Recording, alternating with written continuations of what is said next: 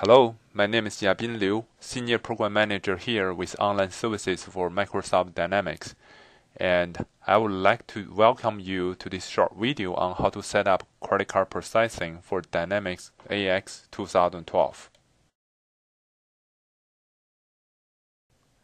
In high level, there are four steps to configure the credit card processing. Step number one, the customer sends up payment services and config Dynamics AX 2012 to process credit card. Step number two, the customer use payment services web UI to apply to a payment provider. Step number three, the customer work with the selected payment provider's account manager to config payment account in payment provider's system. And then get the account information from the payment provider account manager. Step number four, the customer provides the merchant account information to his partner, and the partner use such information to activate the selected payment provider on behalf of this customer using the partner portal.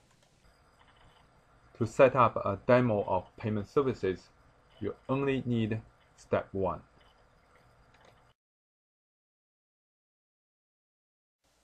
Step 1. Customer sends up payment services and configs Dynamics AX 2012. In AX, please go to uh, Accounts Receivable, Setup, Payment, click Payment Service, click Sign Up Now button.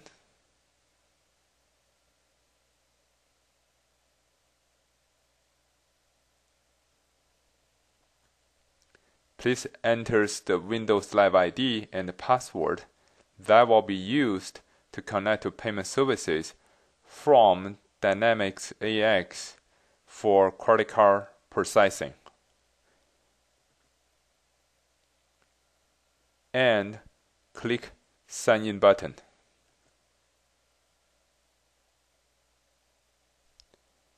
This is the form for sign up payment services for Microsoft Dynamics ERP. Please enter organization name, country or region, contact email, purpose of account.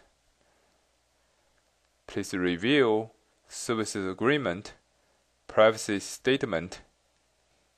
Check the checkbox to accept service agreement and privacy statement and click sign up button to sign up.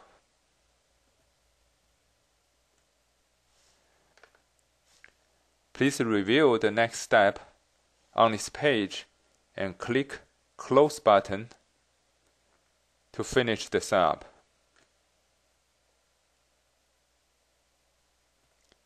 Now you have a payment service account in the cloud. The next step is to select the services account ID from this drop-down.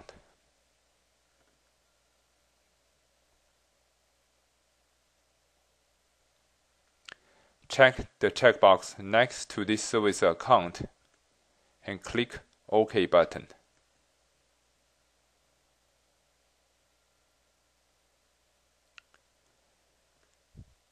The next step is config credit card type.